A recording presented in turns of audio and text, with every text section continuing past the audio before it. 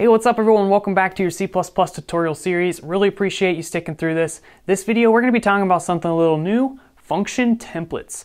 So the whole idea of templatizing is something that C++ introduced. You may also hear it as generics in other programming languages. Now, this can be tied to functions and it can also be tied to classes. The context of this video is function templates. So if you're looking for templatized classes, this is not the video for you, although this might give you the foundation for the concept of templates. So you might still get some use out of it.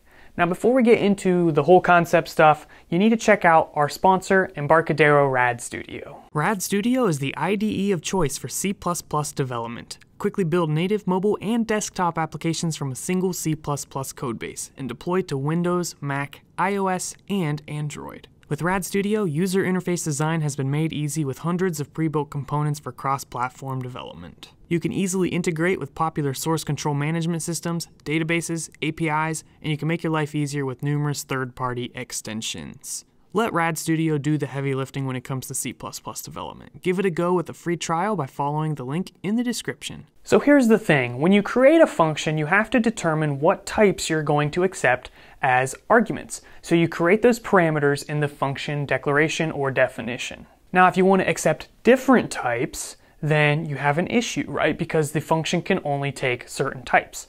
So this is where overloading comes in. And we did videos on overloading. It's a super valuable thing. So although I'm going to suggest an alternative to overloading, this is not necessarily a replacement for overloading because that's still going to come up as you'll see in a few videos here.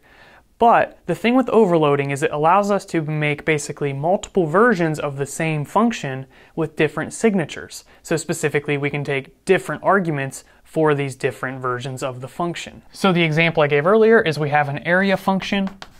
One takes an integer x, and the other one takes an integer x and an integer y. You can name them whatever you want, it doesn't really matter. The point is, this one takes one argument, this one takes two.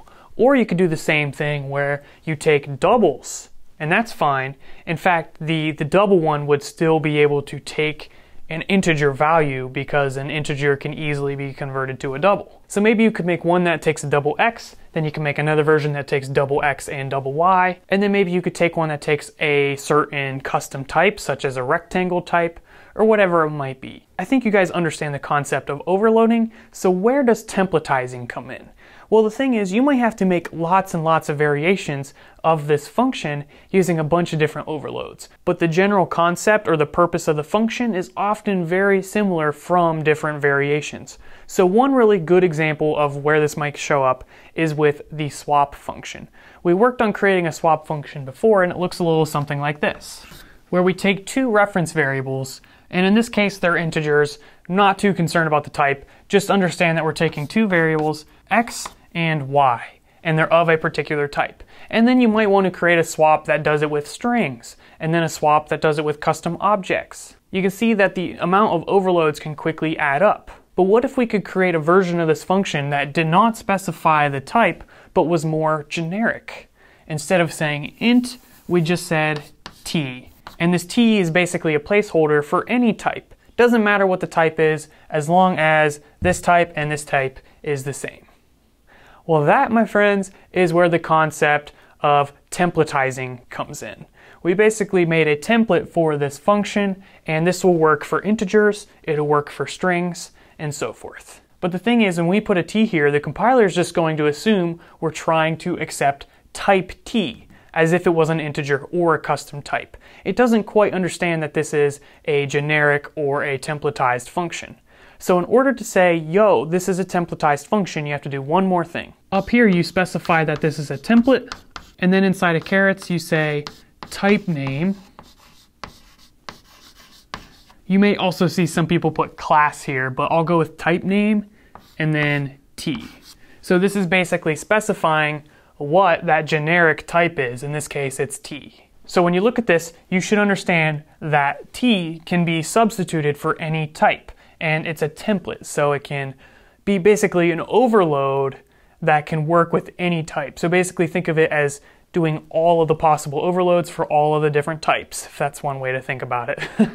now inside of the function body, we can use t as if it was an integer or a string. So we could create a variable of type t by saying t and then giving it a name such as temp, and you can assign it x and so forth. So t is just used as if it's any other type. It makes sense in the context of a template, even though t is not an actual defined type. It's not like we created a custom class called T or anything like that. All right, that's all I got for you guys in this video. In the next video, we're going to go through this process by creating a templatized function. Should be pretty helpful, so go check it out if you want to get some hands-on experience with this. Thank you, and I'll see you in the next video, and don't forget to subscribe. Right, peace out.